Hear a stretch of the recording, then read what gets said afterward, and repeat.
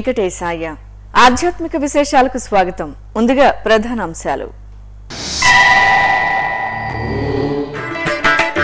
తెప్పోత్సవంలో శ్రీ వెంకటేశ్వర స్వామి వారి దివ్య దర్శనం.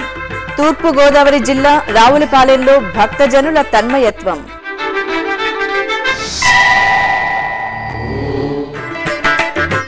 ఘనంగా అళగనాథ స్వామివారి రథోత్సవం. గూడూరులో వెళ్ళి విరిసిన ఆధ్యాత్మిక ఆనందం.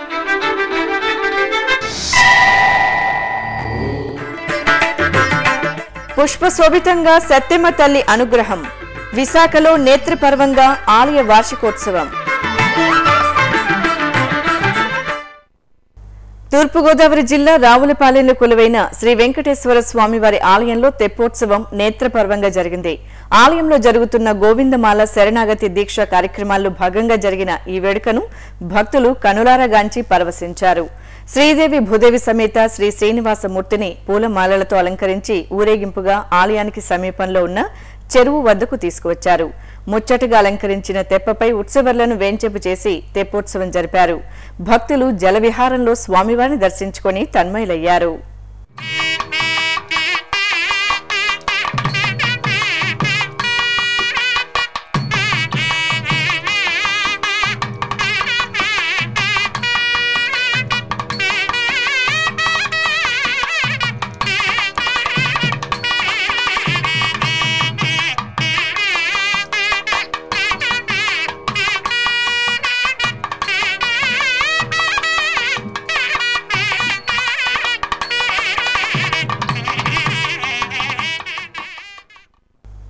అలగనాథ స్వామివారు రథోత్సవంలో భక్తులను కటాక్షించారు. రథాన్ని లాగి అలగనాథ స్వామివారి సేవలో తరించారు భక్తులు. నెల్లూరు జిల్లా గూడూరులో నెలవైన శ్రీ అలగనాథ స్వామివారి ఆలయంలో బ్రహ్మోత్సవాలు ఘనంగా జరుగుతున్నాయి. ఈ ఉత్సవాల్లో భాగంగా స్వామివారి రథోత్సవం జరిగింది. సంప్రదాయబద్దంగా అలంకరించిన రథంపై ఉత్సవర్లను ఆశీర్వదం చేసి మంగళహారతులిచ్చి పొరవీధుల్లో ఊరేగించారు. భక్త బృందాల కోలాటాలు దైవనామ స్మరణల మధ్యన సాగిన ఈ రథోత్సవంలో భక్తులు తరించారు. రథాన్ని లాగి అలగనాథునిపై తమ భక్తి ప్రపత్తులను చాటుకున్నారు.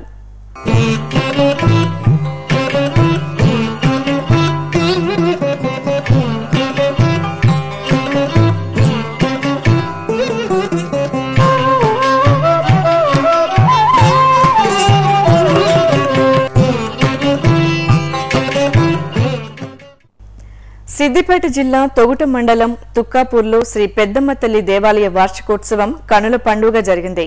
చల్లని తల్లికి ప్రత్యేక అభిషేకం నిర్వహించి విశేషంగా అలంకరించి ధూపదీప నైవేద్యాలు సమర్పించారు. ఆపై లోక కళ్యాణాన్ని కోరుతూ అమ్మవారి సన్నిధిలో హోమం జరిపారు. కలశ స్థాపన పుణ్యాహవాచనం గణపతి పూజ అగ్ని ప్రతిష్టలు నిర్వహించాక హోమం చేసి పూర్ణాహుతి సమర్పించారు. విశాఖ నగరం ప్రహ్లాదపురంలో శ్రీ సత్యమ్మ తల్లి ఆలయ వార్షికోత్సవం జరిగింది.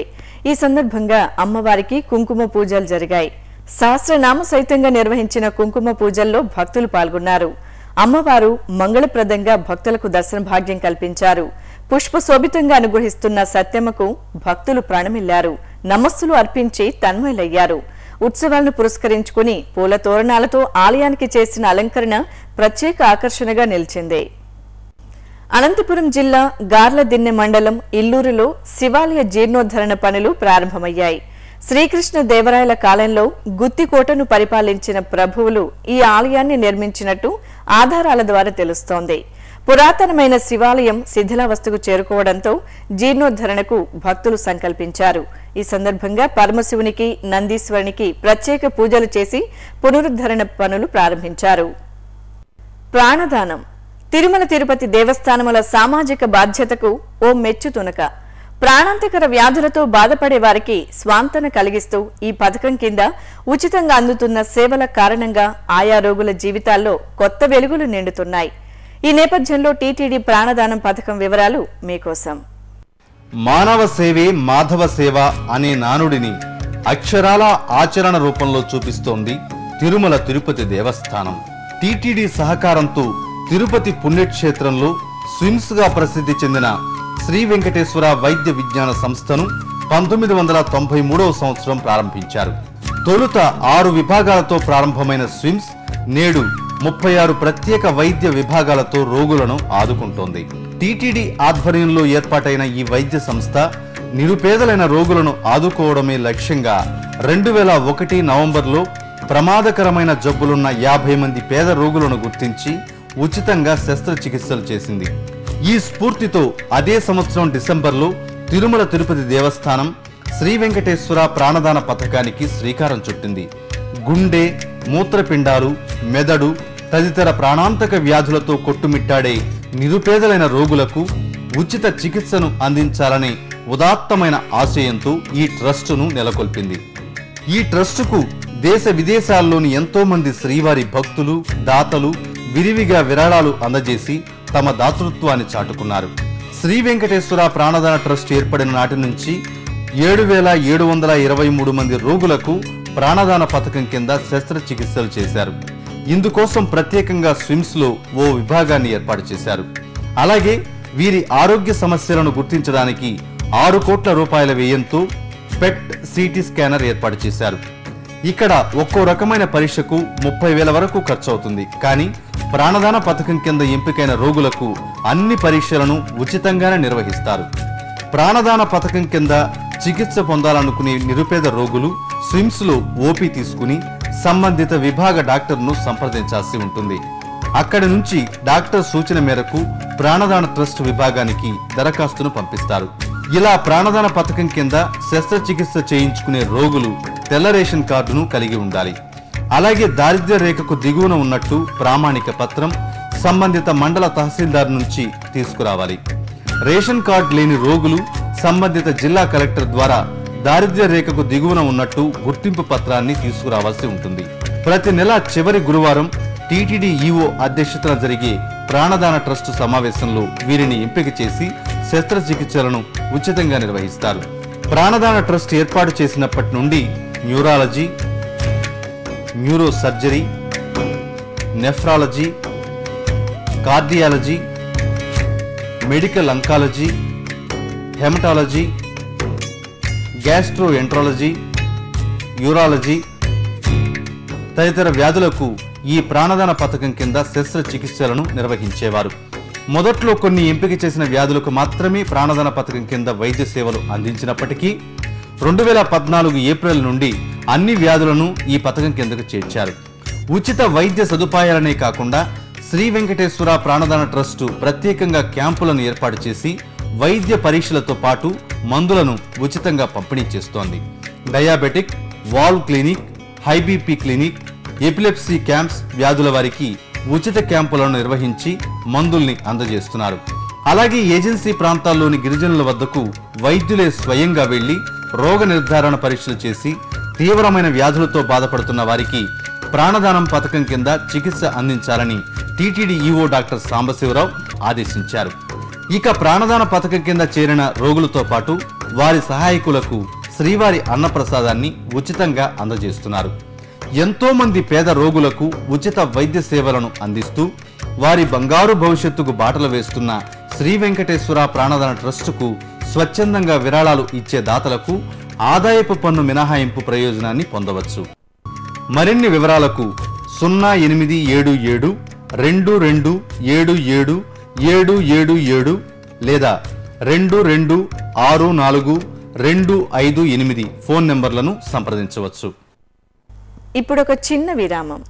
ఆధ్యాత్మిక విశేషాలకు తిరిగి ఆధ్యాత్మిక విశేషాలకు తిరిగి స్వాగతం. రానున్న వేసవి దృష్ట్యా తిరుమలలో భక్తులకు ఎలాంటి ఇబ్బందులు తలెత్తకుండా ప్రత్యేక ఏర్పాట్లు చేయాలని TTD EO doctor D Sambasivarao అధికారులను ఆదేశించారు. అలాగే ఉష్ణోగ్రతలు పెరుగుతున్న నేపథ్యంలో అటవీ ప్రాంతంలో ఆకస్మికంగా జరిగే అగ్ని ప్రమాదాలను నివారించేందుకు సుశిక్షితులైన సిబ్బంది విధులు నిర్వర్తించేలా చర్యలు తీసుకున్నట్లు వివరించారు. తిరుమల అన్నమయ్య భవన్లో మంగళవారం జరిగిన సమీక్షా సమావేశంలో ఆయన వివిధ శాఖల అధికారులతో పలు అంశాలపై చర్చించారు. వేసవి సందర్భంగా టీటీడీ అటవీ ప్రాంతంలో అగ్ని ప్రమాదాలను నివారించేందుకు ప్రత్యేక చర్యలు తీసుకోవాలని TTD EO doctor D Sambasivarao ఆదేశించారు. తిరుమలలోని అన్నమయ్య భవన్లో మంగళవారం టీటీడీలోని వివిధ శాఖల అధికారులతో ఆయన సమీక్ష నిర్వహించారు.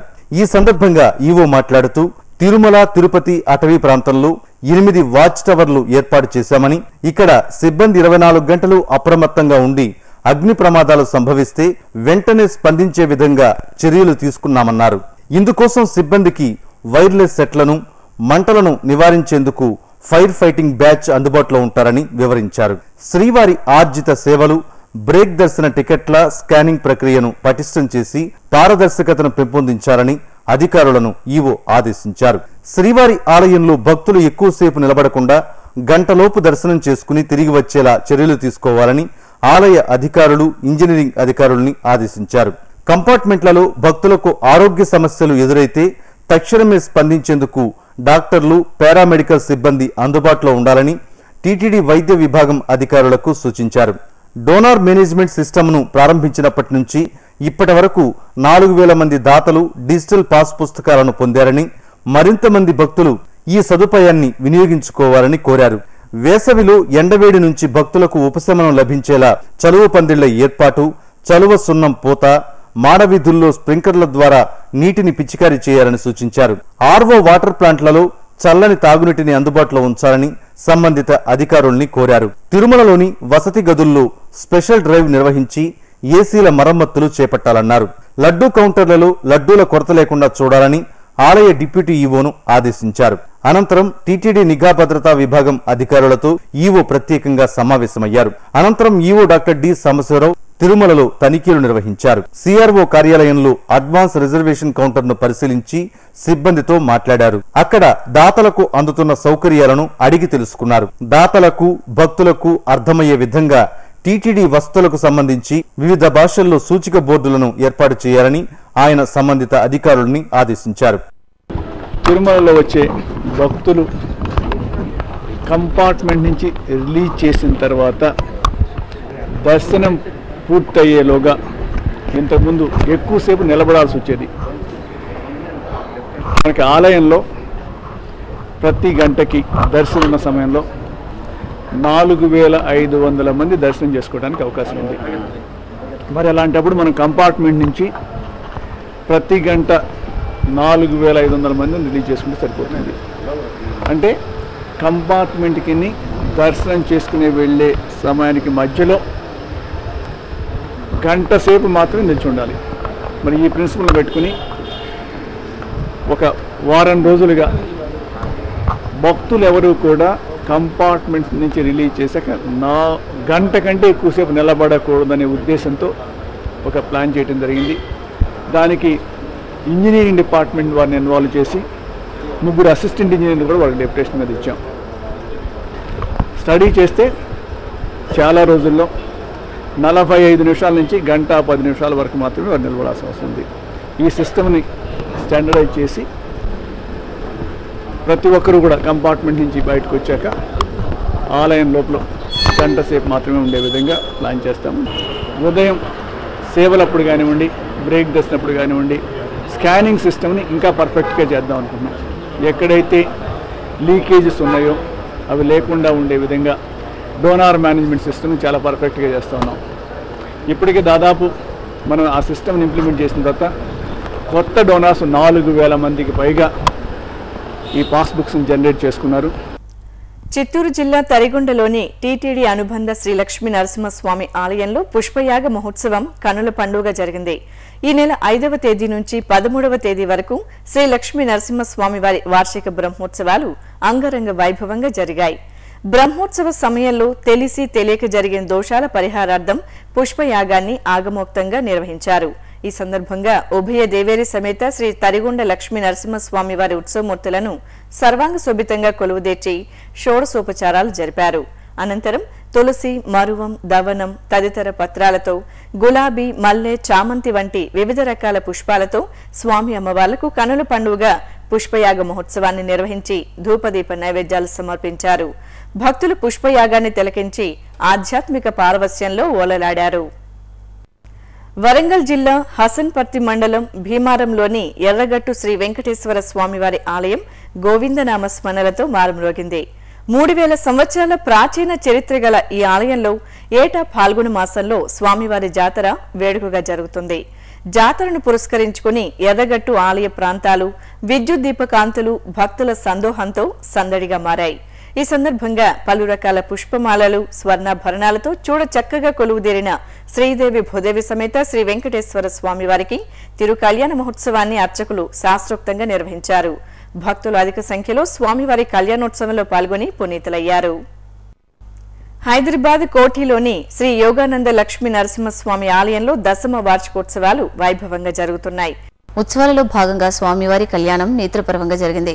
సర్వాంగ శోభితంగా తీర్చిదిద్దిన వేదికపై స్వామి అమ్మవార్ల ఉత్సవాలను చూడు చక్కగా కొలువు తీర్చి సంప్రదాయ రీతిలో కళ్యాణ క్రతువు పూర్తి చేశారు. భక్తులు స్వామివారి కళ్యాణాన్ని వీక్షించి ఆనంద పరవశులయ్యారు.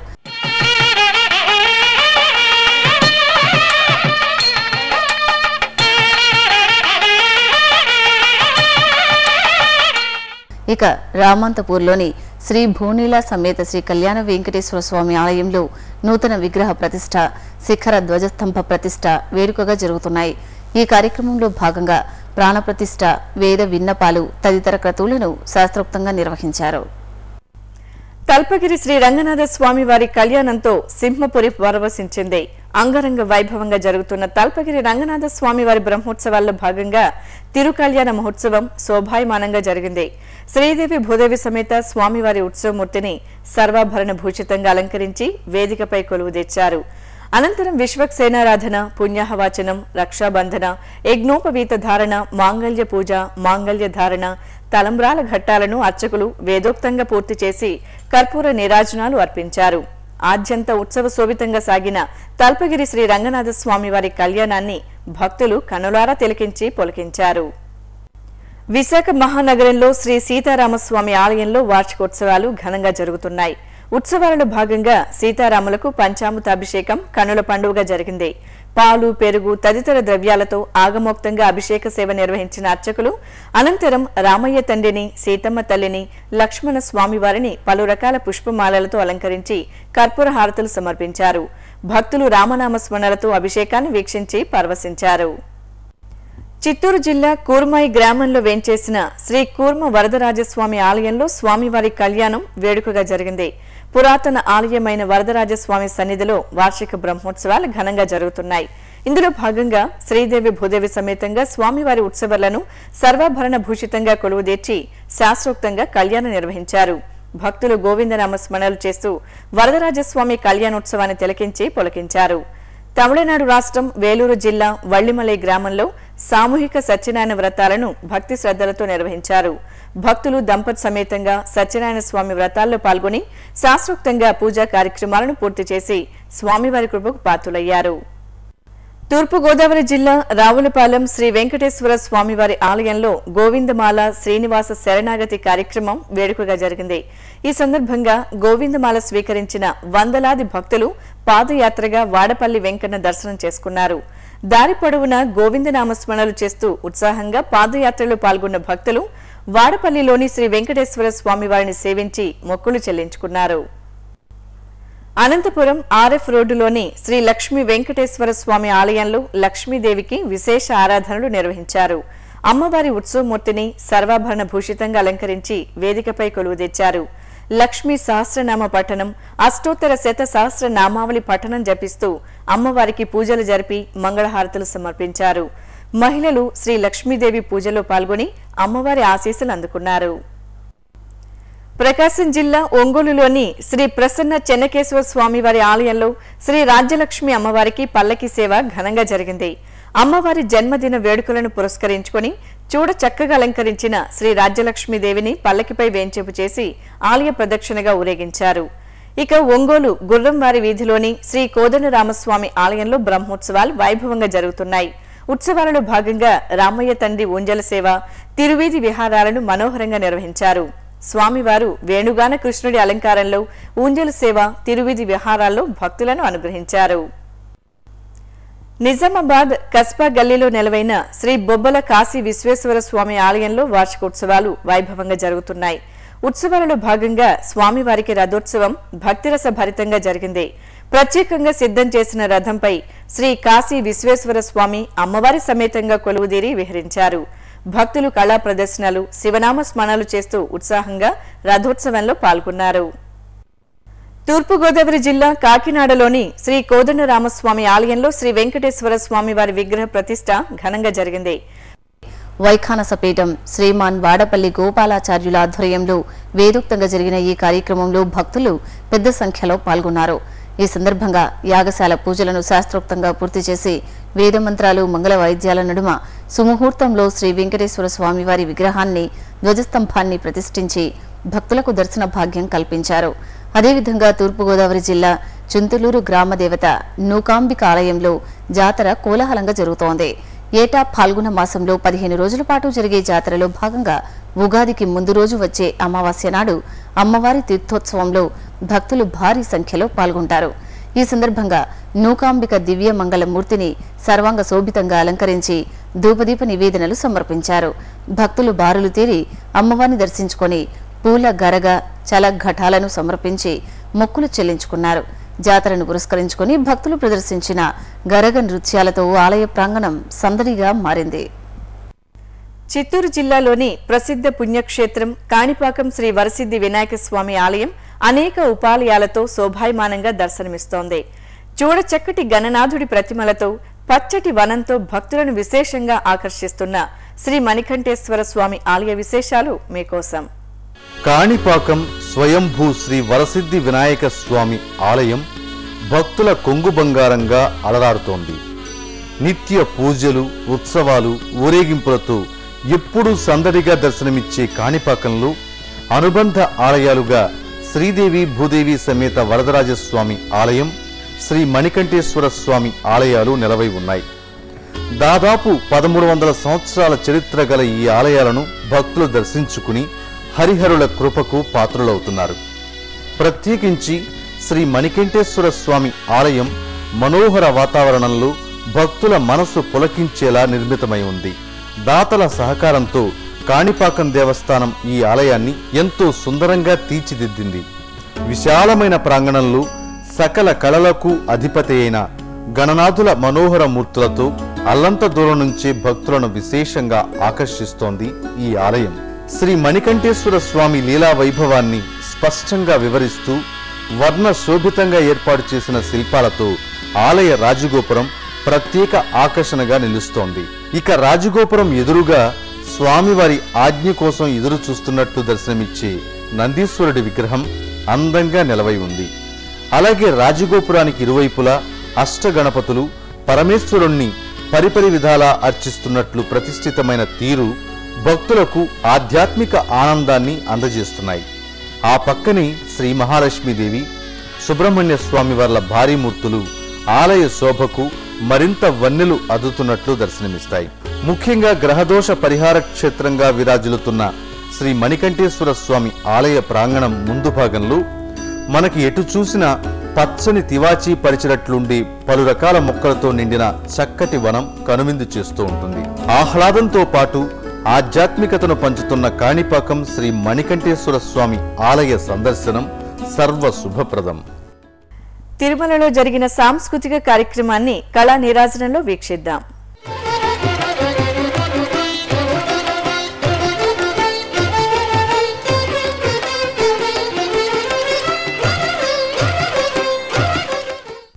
తిరుమల నాద నీరాజనం వేదికపై మంగళవారం రాత్రి అమృతం భిన్నవాద్య ప్రదర్శన వీణులు విందుగా జరిగింది. చెన్నైకు చెందిన కెవి ప్రసాద్ బృందం సంగీతార్చన శ్రీవారి భక్తులను అలరించింది.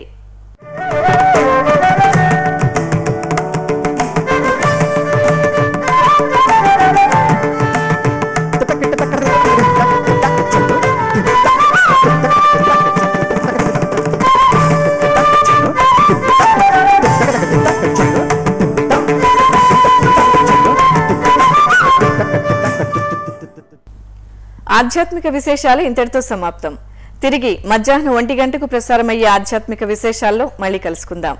ఓం నమో వెంకటేశాయ.